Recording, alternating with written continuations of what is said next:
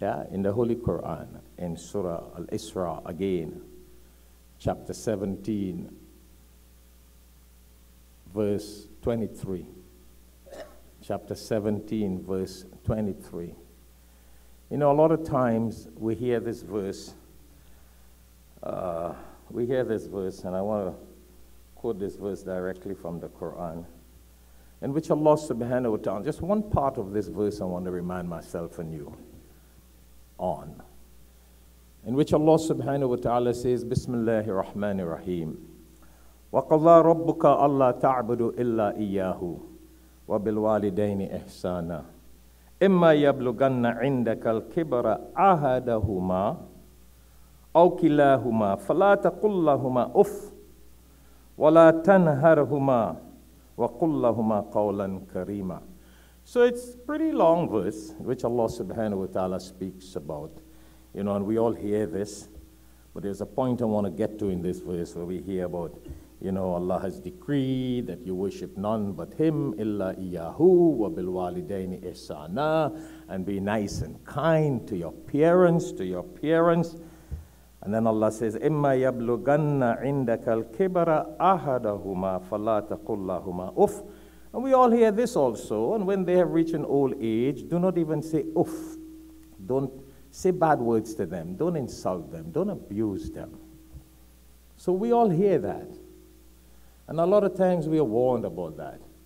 But there's another part of this verse that, you know, Allah also says, as we continue here, وَلَا تَنْهَرْهُمَا And do not, you know, repel them, abuse them, whatever. So we all know that. But here the next part of this verse, here this part, which is where a lot of us sometimes fail. Where Allah says, وَقُلْ لَهُمَا قَوْلًا كَرِيمًا And Allah is telling us that you must make the time, take the time, make it your duty to say nice words to your parents. Isn't that interesting? We live in a world today in America where we don't even have time for us to say nice words to ourselves. Far less to find the time to say nice words to them. وَقُلْ قَوْلًا كَرِيمًا Allah is telling us. You understand Hafiz Munir? You know how we're all busy? You find time. And why I said that I feel I'm guilty of that. I was all the time traveling all over the world, never had the time Alhamdulillah, my parents live with me and I live with my parents ever since I know myself, ever since I know myself until now. Only when I went to study or I was traveling, and then that will begin with tears and end with tears. But I don't know if I made enough time. You know, my father passed away two weeks ago, and that's why this is fresh in my mind. And in the last two weeks, and I want to remind you, I don't want to tell you about my story. I want to remind you so you who have parents don't make that mistake. I didn't do them any wrong. I just feel I did not do enough. That's my problem. Allah is telling us, find time, be nice to them, talk to them, make them smile. Not only find out you have a problem, you're sick, you need something. No. Make time to be extremely nice to them. That's what Allah is saying here. A lot of times, we only have time when they're sick or if they need something. That's not what Allah is saying here. Oh, yeah, go check it out. Surah Al Isra, chapter 17, verse 23. وَقُلْ لَهُمَا قَوْلًا كَرِيمًا Speak nice things to them. This is a deep word. قَوْلًا كَرِيمًا Nice words, kind, loving, extremely anything that could make them feel nice. The Prophet ﷺ said in a hadith that if you talk to your parents and make them smile, you get the blessings of a Hajj.